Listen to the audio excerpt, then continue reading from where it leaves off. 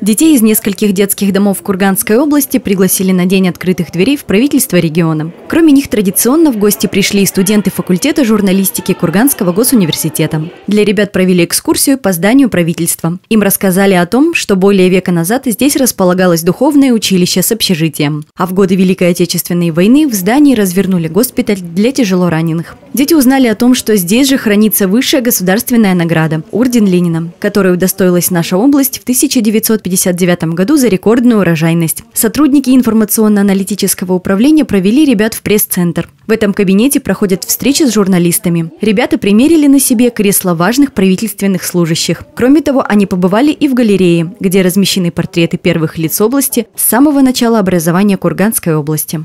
Мне больше всего понравилась в экскурсии это музей.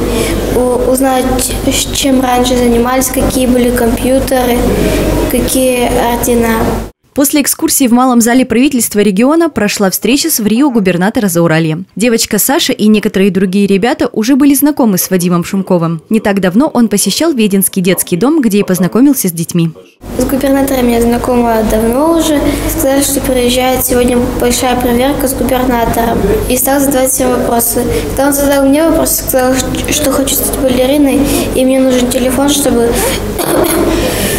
заниматься балетом, ну, смотреть видеоуроки. Через несколько дней он мне передали от него телефон. Видишь улыбающихся ребятишек, детей, всегда становится немножко легче. И очень быстро понимаешь, ради чего работаешь. Не ради цифр, не ради какой-то там бумаги, а ради нормальных, живых, красивых ребятишек, за которыми наше будущее. Теплая встреча прошла в формате вопрос-ответ. Студенты и воспитанники детских домов задали вопросы на интересующие их темы. Например, будущие журналисты коснулись развития промышленности в нашей области. Эту работу а, мы сейчас строим в двух направлениях. Первое – это задача загрузить те предприятия, которые работают в Кургане. И мы, и моя команда постоянно проводим мероприятия. Вот буквально вчера у нас были представители компании «Роснефть». Второе направление – это, конечно же, строительство новых предприятий, либо оживление того, то, что говорили, работали там до 90-х годов. Ребята помладше задали вопрос о том, что самое важное в работе Вадима Михайловича и его команды.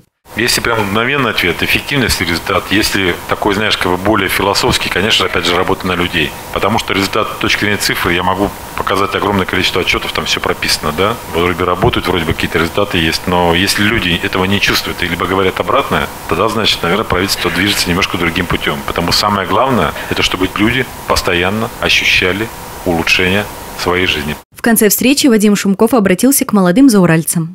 Ребятам, которые постарше, я пожелал бы по-другому подходить к жизни. Не питайте иллюзии, что кто-то вашу жизнь переобустроит за вас. Если вы будете просто исповедовать пассивную модель, что кто-то должен за меня убрать мусор, перестать пилить дерево в моем дворе, либо иные проблемы, ну, это не очень правильно, мне кажется. Я предлагаю всегда активную повестку. Я готов принимать вас, нашу большую команду, я готов задействовать вашу энергию. Ну а вам, кто помладше, ребятки, тоже такая просьба, пожелание. Растите правильными людьми. Добавим, что подобные дни открытых дверей в правительстве региона проходят ежегодно. Анна Карпушина, Павел Баев, Владислав Базелев, Лидия Кайгородцева, информационное агентство «Курган.ру».